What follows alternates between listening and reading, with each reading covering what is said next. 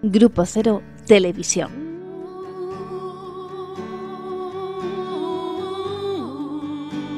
Escribir hasta romperme las manos escribiendo.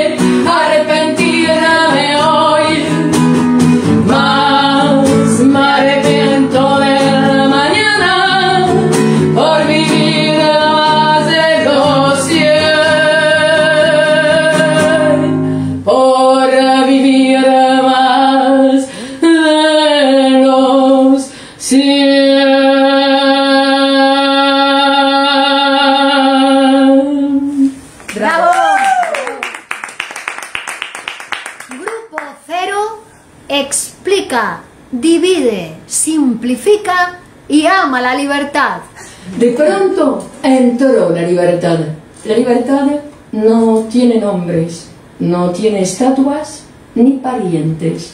La libertad es feroz, la libertad es delicada, la libertad es simplemente la libertad. Desde el centro neurálgico de la Moncloa, poetas despiertos.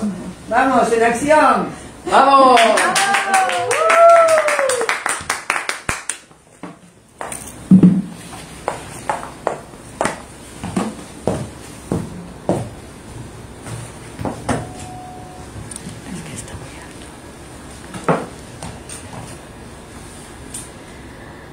Quiero seguir viviendo.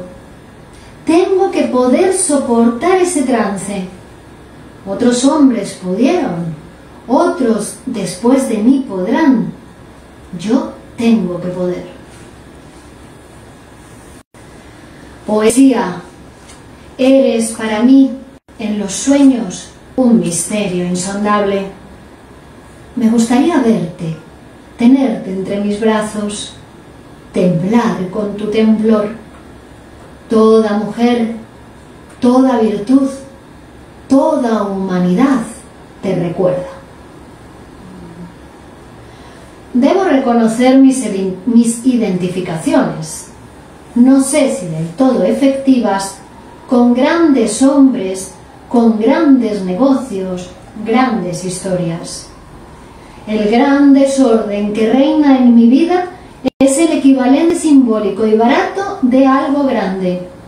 El síntoma, el desorden, que no me permite vivir lo grande, sino bajo la forma de gran preocupación, por el gran desorden. Para ser grande, somos capaces de hacer cualquier cosa. pero ¿qué es el desorden? ¿no? Sí, contrarrevolucionario. ¿no? El caos. Se podrán hundir todas las naves, pero la poesía no.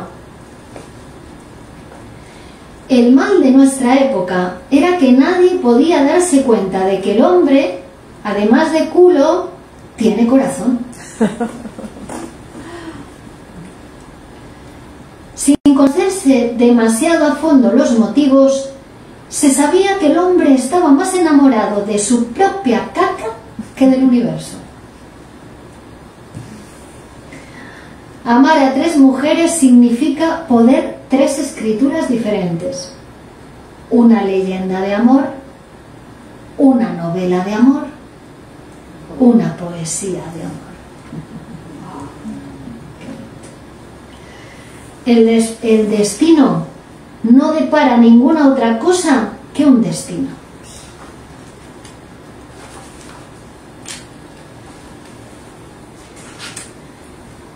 Ella me quiere para sí. Entonces, más que amarme, me sueña todo el día. En sus sueños, yo siempre soy un príncipe que muere arrodillado.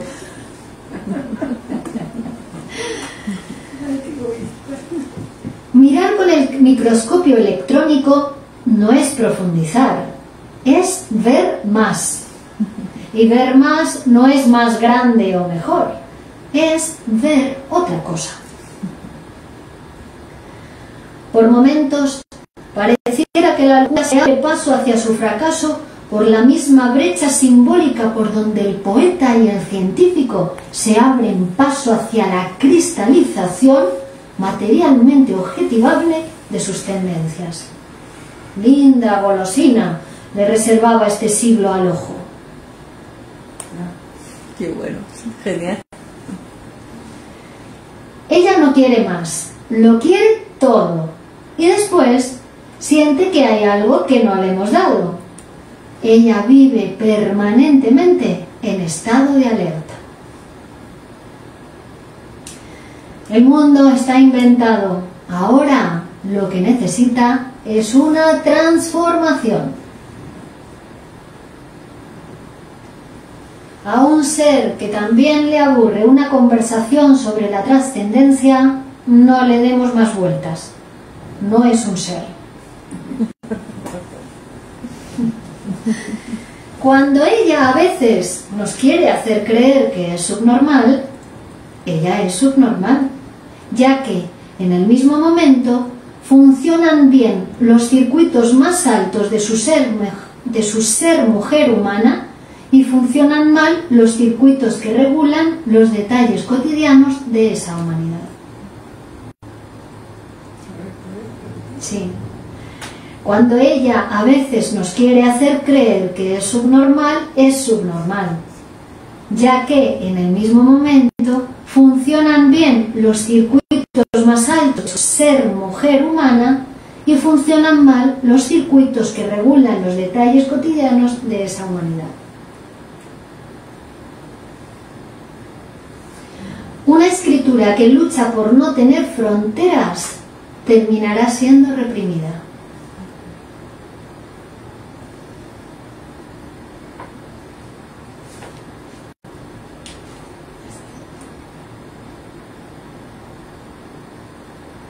La estética no me interesa tanto como el buen funcionamiento, la salud, el placer ligero.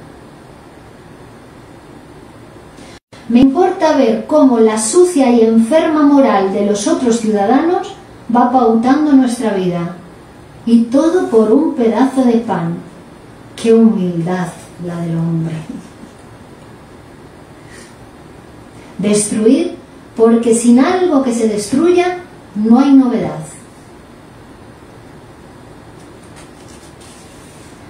Las cosas grandes se hacen lentamente a través de los años.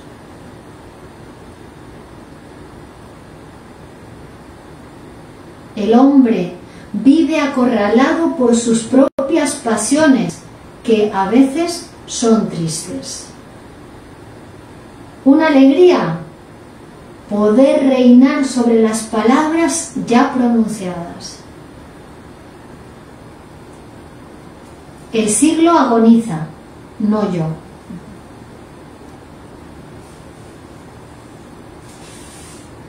Poco a poco me iré liberando de todo, de casi todo. No del amor, mas sí de su intolerancia.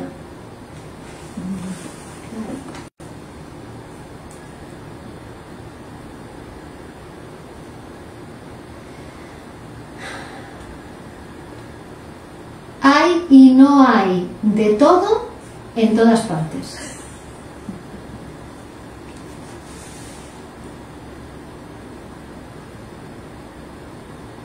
Un porvenir sin tiempo, eso es lo que tendríamos que pensar.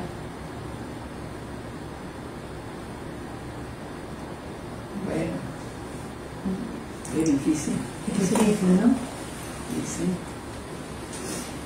Estar vivo es una señal importante de haber vivido. Les habló el amigo invisible. Muy bien. Un avión totalmente automatizado despega para su primer vuelo. En cuanto ha tomado altura, los pasajeros oyen una voz tranquilizadora que les dice a través de un altavoz, Señoras y señores, ya pueden reclinar sus asientos, relajarse y disfrutar del vuelo. Este avión es completamente automático. Piloto automático, servicio de restaurante automático, sistema de autorizaje automático, pueden estar tranquilos. Es imposible que se rompa. Se rompa, se rompa, se rompa, se rompa, se rompa, se rompa. Está anunciando. Qué bueno. Bueno, Julio, ¿me prestas tu bici? No, pero se la puedes pedir a mi amigo Nicolás. Pero si yo no lo conozco. Por eso, a lo mejor por eso te la prestas. bueno, un poco de psicoanálisis. Sí, por favor, por favor. Adelante.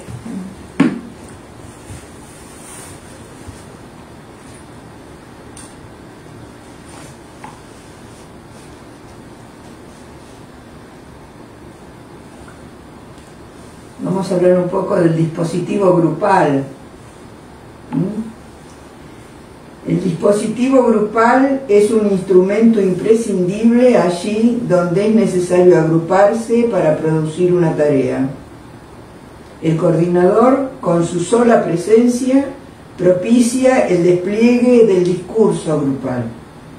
En lo grupal no se trata de invertir las jerarquías, sino de una organización circular donde el coordinador imparte una enseñanza que induce a engendrar trabajo en cada integrante. La condición será que los que se sometan al dispositivo grupal estén dispuestos a trabajar sin que necesiten una cualificación previa. El malestar en la cultura que el estado de creación conlleva introduce a cada elemento del grupo en una temporalidad donde reina la angustia. Y como todos sabemos, con la angustia hay que saber arreglárselas, ya que la angustia, como tiempo, puede dar paso al abandono en el placer de la inercia que conduce al enquistamiento del pensamiento y al padecimiento de la angustia en el propio cuerpo del sujeto, o bien la misma angustia señalando solamente el abismo que nos separa de nosotros mismos cuando creamos nos sumerge sin más en la algarabía de la creación. La puesta permanente en cuestión de todo pensamiento grupal ha de ser una constante del funcionamiento para mantener alejado al grupo de la comodidad intelectual que las apreciaciones de los sentidos sensibles indican. Un pensamiento que reclame la zozobra de todo pensamiento es en verdad el primer paso en el camino de lo poético.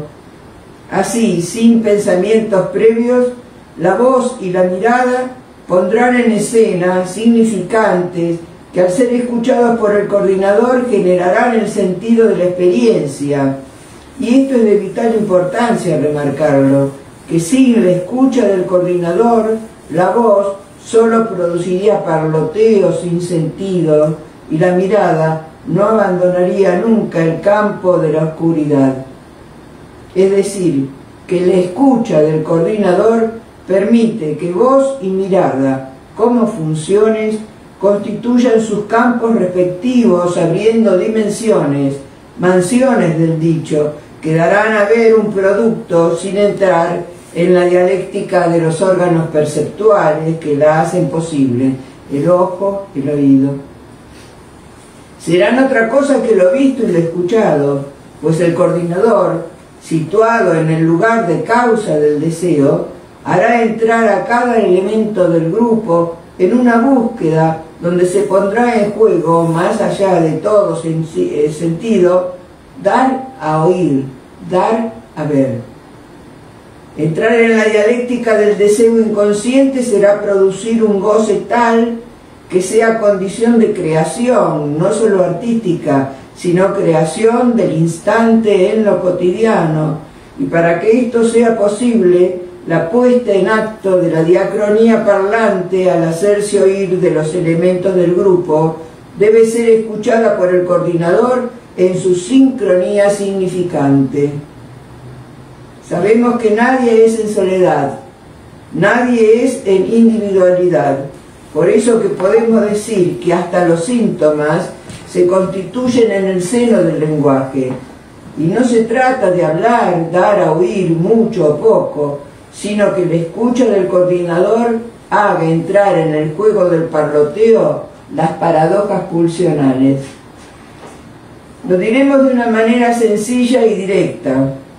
Si se trata de escribir, identificarse al síntoma de la escritura será, será poder hacer del síntoma un goce, pervertir la situación hasta tal punto que sea casi natural, mientras la escritura sea el síntoma, gozar de ello. Y cuando hablamos de goce, hablamos de un placer con paradoja de vida y muerte. Cada poema, cada creación para hacerlo tendrá una apariencia de final, aunque siempre recomience. Habrá puntos, caídas, espacios de silencio. Cada integrante, cual un planeta, girará en torno del agujero significante que es lo grupal, a la par que rota sobre su eje, participando en la vía de desarrollo de todos los presentes, en tanto camina por su propio camino de creación. Será entrar en una dialéctica tal donde los lazos temporales que plantea un grupo puedan llegar a ser vividos como lazos de sangre, y esto solo es posible en la dimensión más allá de los vínculos familiares, más allá de ser ese ciudadano de este Estado, más allá de las clases sociales donde he sido socializado, y fundamentalmente más allá del placer de la inercia de lo conocido. Toda experiencia poética es sorpresiva e imponderable, sobre todo para quien la genera. Hola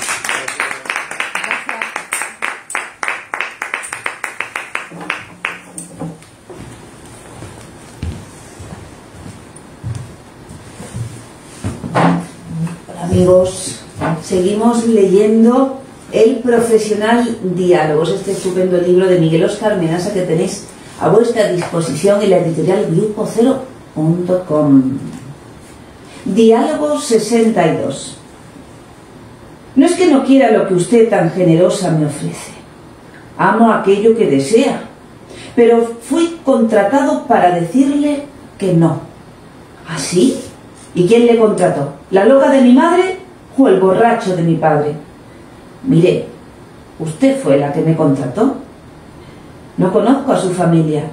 ¿Y para qué yo querría contratar a un especialista de los nervios? El día que me contrató estaba muy nerviosa. ¿Y cómo llegué hasta aquí? La trajeron dos policías. ¿Cómo dice? Continuamos la próxima. ¿Cuándo? ¿El jueves o el lunes? El jueves y el lunes, toma los dos días. Ella salió a la calle y estaba contenta. Sonreía a todos los paseantes. No sé por qué, pero hoy he comprendido algo. Fue una frase que no recuerdo, que nunca sabré qué frase, pero ese día cambió mi pensamiento. Mañana me daría cuenta, en el tedio de la vida, de que todo había cambiado. Nada se parecía al día anterior. Llamé a dos amigas y lo que decían y cómo lo decían me resultó raro. A ellas les pasaba lo mismo conmigo, me veían rara, muy rara. Ahora dormiré y luego estaré mejor. Me dormí pensando que lo más divertido fue haber descubierto que yo tengo dos almas. Esas almas mías nunca están de acuerdo en nada, difieren todo el tiempo. Cuando una de mis almas se enamore, estaré perdida.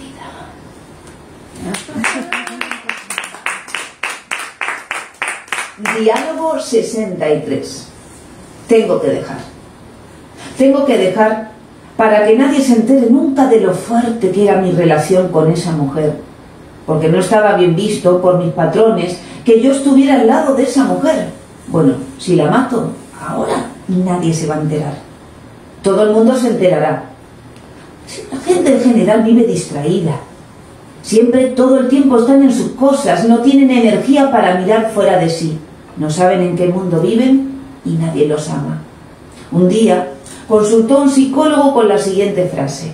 El mundo entero me persigue, el mundo entero quiere hacerme daño. Y el psicólogo, muy joven, le dijo, ¿usted no tiene nada que ver en eso que le pasa? El paciente no volvió más y el psicólogo algo entendió. Lo que entendió el psicólogo lo contará el psicólogo. El paciente no volvió porque no podía atribuirse lo que padecía. Era el mundo que funcionaba muy mal, no era él. Él solo padecía sobre su propia existencia el mal funcionamiento del mundo. Así aguantó más o menos bien 15 años. Puso en ridículo a casi 10 psicólogos. Siempre lo buscaba muy jóvenes, que le decían que él era responsable de su vida. Cuando me contrató, en octubre de 2012, ya estaba totalmente convencido de lo que le habían dicho tantos psicólogos, pero no quería dar su brazo a torcer delante de ellos. Llegó, se tumbó en el diván, que desconocía, y dijo, Doctor, he venido a verle porque el culpable soy yo. Psicoanalista, podemos continuar la próxima. El paciente se levantó y se fue hacia la puerta y al pasar por delante del doctor le dijo, gracias, muchas gracias. Psicoanalista, en off, ¿por qué no le dije nada cuando me dio las gracias? ¿Por qué me daba las gracias si yo le cobraba todos los encuentros, aun los que tuviéramos por teléfono o cualquier otro medio de comunicación privado? Él lo sabía. Me daba las gracias porque él no creía que lo mío fuese mi trabajo. Esto tampoco se lo diré por ahora. Primero mi trabajo tendría que hacer efectos en su vida. Y cuando diga en sesión que ha progresado mucho desde que está al lado de esa mujer, yo le diré, bueno, usted me pagó por haber trabajado para usted. Sí, eso lo reconozco. Yo pagué casi siempre y usted faltó algunos días. Yo había faltado a los encuentros una sola vez, el día de la muerte de mi padre, pero elegí no recordárselo. Sí, es verdad lo que usted dice, pero yo tuve que sentir que usted me abandonaba para siempre y eso me produjo mucho dolor. Pero el que había muerto no era yo, era mi padre. Mire, cuando usted me lo comunicó, yo no pude escucharlo, solo escuchaba que alguien había muerto. Y ese alguien podía ser cualquiera, usted, yo, su padre o el presidente del gobierno. ¿Y usted no interviene para nada en lo que le pasa en su vida? No me venga con eso, doctor, que eso se lo enseñé yo. Continuamos la próxima. Este paciente me dejaba pensativo. En el primer encuentro me dijo con claridad, el culpable soy yo. Y el último por hoy, diálogo 65. Hola, ¿está mi nena? Sí, mami, soy yo. Ya estoy vieja. Ya nada me hace del todo bien. Vamos, mami, que solo tienes 85 años. Hay viejos que a los 85 años están en la flor de la vida. Esa debe ser gente acompañada. Pero tú sabes que desde que murió Pepe yo estoy sola. No tengo con quién rejuvenecer. Además, me daría mucha vergüenza desnudarme delante de un hombre. Pero mamá, vergüenza es un sentimiento infantil. Te entiendo, hija, te entiendo, pero me da mucha vergüenza. Hasta mañana, hasta mañana. Se sienta en una sillita y reflexiona.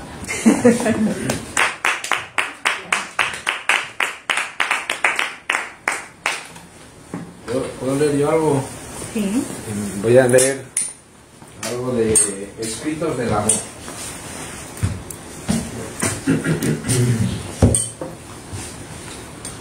Escritos del Amor de Miguel Oscar Menasa, Querida. Querida, encuentro estos momentos de nuestra relación propicios para comenzar a decirte cómo es que a mí me gustarían las cosas entre nosotros. Y sin embargo, elijo el silencio entrecortado de mis versos para no decirte del todo, para dar cabida una vez más a tu frondosa imaginación, sin la cual, debo reconocerlo, ya me sería muy difícil seguir viviendo. Soy, mi querida señora, el que quiso matar la paloma de la paz, el buitre ensangrentado, lleno de furia por haber sido maltratado en el amor desde pequeño. Por eso, en los encuentros mortales, en la desavenencia nocturna del alba, allí puedo decirte los olores de las tristes mariposas muertas antes de volar verdaderamente, esas almas sin destino, voladoras para recreación de algún espíritu volador, sin nada para ellas en ese arte de volar. Quisiera, junto contigo, amada, ser el estruendo mortal de la ineficacia, portero de la nada, del viento contra el viento, un ser confundido con las más airadas protestas de libertad. Embelesado de no saber volver a ningún sitio, abierto después de la tremenda ineficacia en llamas multicolores, envuelto entre las razones de su odio, la espero, malherido, lleno de horror por lo inevitable, envuelto en ramas, sacrificando algún olor, conteniendo la ira y el miedo, el amor ha, ha permanecido en mí, inalterable. Lo sé, en los odios y las envidias más fuertes, en los desgarros más profundos, ahí anida la poesía. No es a un imbécil liberado a quien se le entrega la poesía, sino a quien le costó la vida liberarse. Es a quien se le entrega la poesía. Me ama cuando le muestro mi rostro ensangrentado, cuando en mi cara aparece la mueca de la muerte, me adora.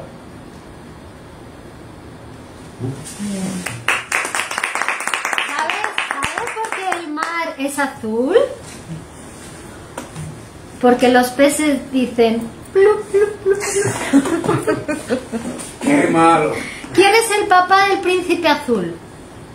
El pez blu blu. ¿El Blu-ray? ¿Cuál es el nombre del pez que cae de un cuarto piso?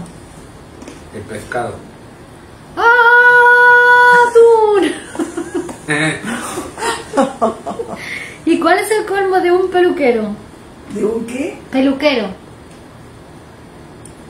Cortar el hombre. Descubrir que en la vida nada es permanente. ¿Qué le dice un jardinero a otro? ¿Te puedo ver hoy? Seamos felices mientras podamos.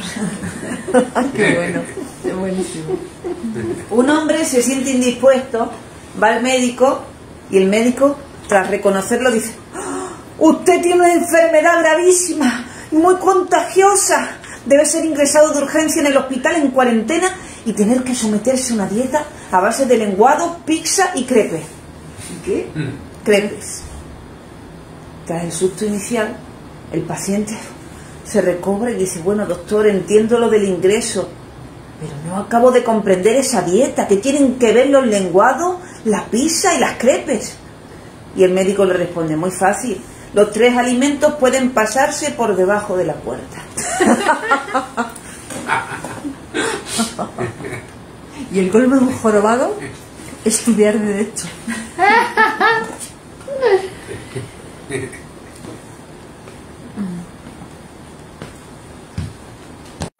Bueno, seguimos leyendo. Voy a leer un poema del libro que vamos a presentar, Poemas Olvidados de Miguel Oscar Menaza, un poema, un libro que vamos a presentar el 24 de noviembre en la Escuela Grupo Cero a las 18.30. Están todos invitados, les esperamos. El que lo presenta Norma Menaza. Se equivocó la paloma. 1.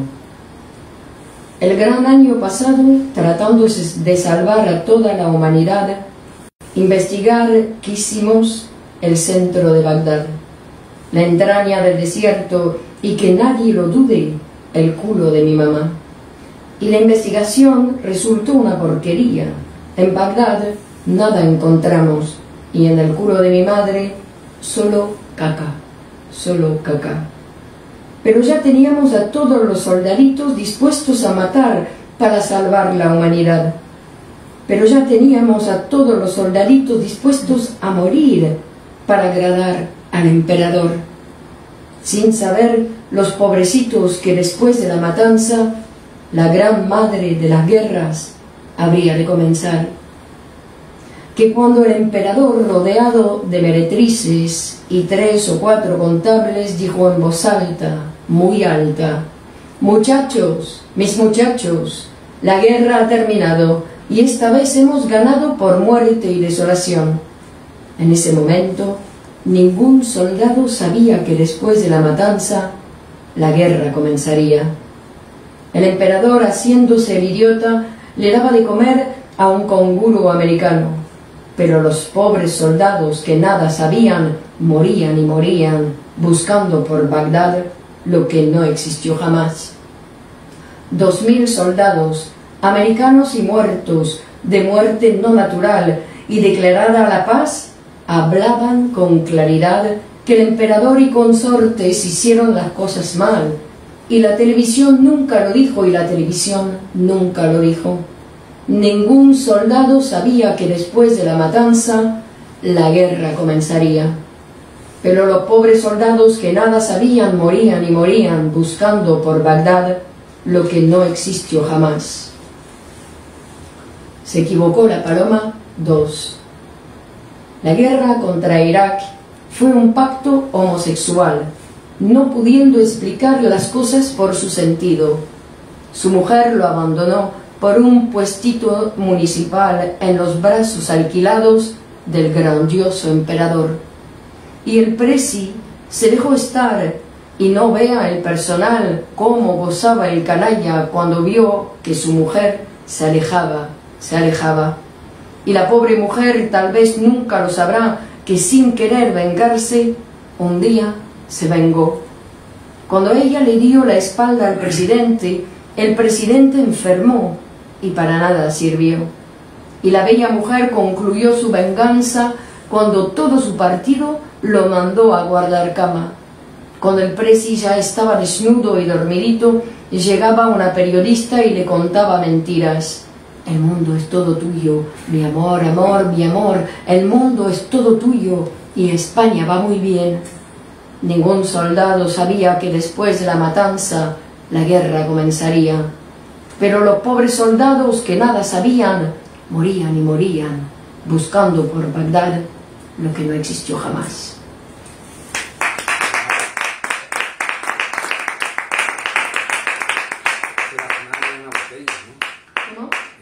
en la botella. Morían de hambre también. Yo quisiera producir. Yo quisiera producir en el alma de la gente un saber incuestionable sobre la vida y la muerte. Tengan cuidado, señores, No se dejen convencer, la muerte siempre es la muerte, pero el que muere es aquel. Y en el trabajo puedo asegurar que aquel que trabaje comerá su pan. Y si no le alcanza, trabaje algo más, más tenga cuidado, no vaya a enfermar.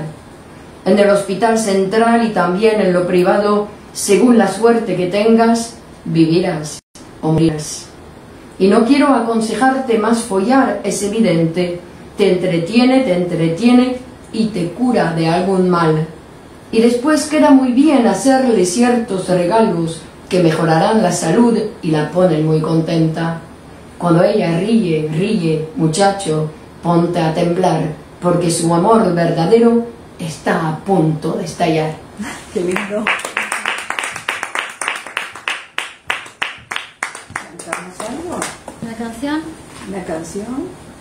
Luisa, ¿cuándo dejarás de ser tan celosa? Cuando vuelvas a llamarme María. ¿Eh? Cuando vuelvas a llamarme, María. ¿Cómo se dice puerta en inglés? Door. ¿Y el que las vende? Vendedor. ¿Y el que las compra?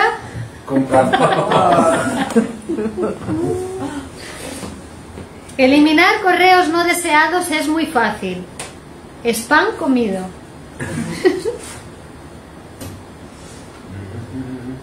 ¿Qué hace una vaca con los ojos cerrados? Soñar. Leche concentrada. A mí. oh. De Miguel Oscar Menasa, una canción titulada Pepe y el tango. Que- No, solamente el, no, no es el micrófono, es el trípode el que no puedo tocar. Nada. Sé nada. No me puedo Ahí, tocar el trípode. Muy bien, muy bien. Ahí estás súper centrado. Ay, no me Concentrado. dejan tocarme el trípode, qué problema. Está todo bien, se te escucha. A mí me gustaba llegar del trabajo, ponerme en pelotas y cantar un tango, un tango de cosas que no cantaba nadie, porque yo mismo inventaba por las tardes al llegar, casi muerto del laburo, y me ponía a cantar. A mí me gustaba cantar por las tardes con la ventana abierta, un tango sin par. Hablaba del hombre cayendo y alzándose, y la mujer la briega y la puta también. Algunas mujeres, tal vez indiferentes, esperan que un hombre les dé amor y pan. No saben las quilis que el hombre ya ha muerto, haciendo la guerra, matando al rival. A mí me gustaba llegar del trabajo,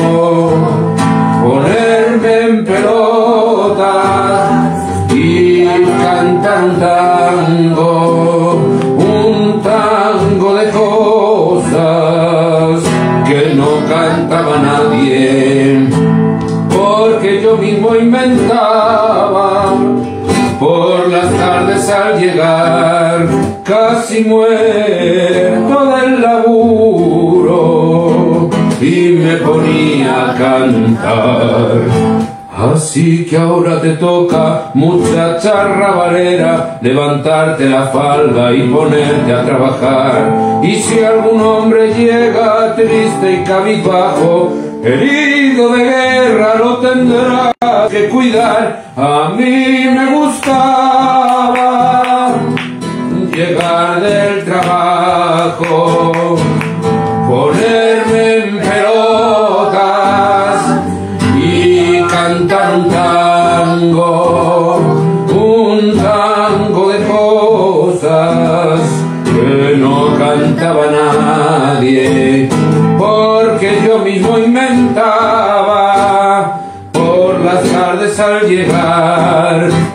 casi muerto del laburo y me ponía a cantar.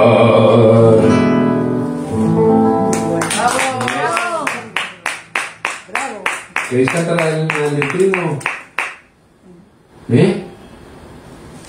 O la, de, o la de la prostitución a los 70 años. La que te gusta, tío, ¿no? El Sí, que no se acuerdan.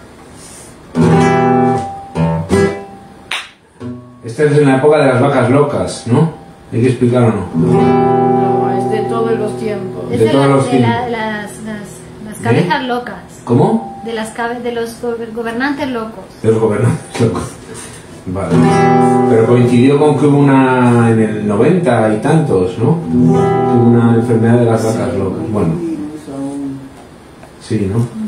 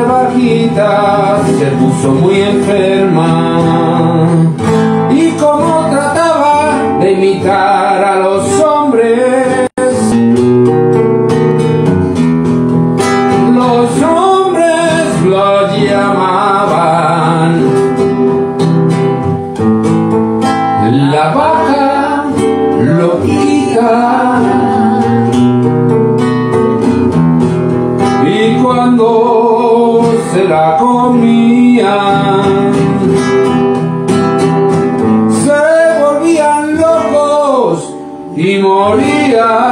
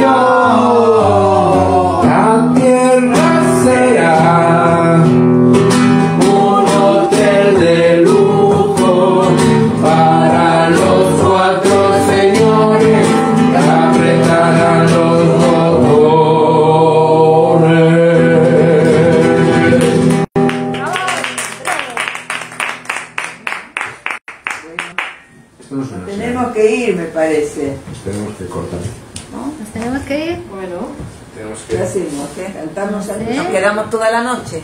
Eso, no, Claro, no. claro. Corte, corte. Pizza, crepes y lenguado, por favor. A ver, ¿qué hace una abeja en un gimnasio? Zumba. ¡Sí! ¿Qué hace una abeja en un gimnasio? ¿Qué hace? ¿Y qué? Zumba, zumba. Ah, ¿Y qué dice una cereza mirándose al espejo? ¿Cómo te pareces a mí? Cereza. Teresa. El último, el último, el último. ¿Cuál es el peinado favorito de los carteros? Los tirabuzones. Los Ah. tirabuzones. Claro.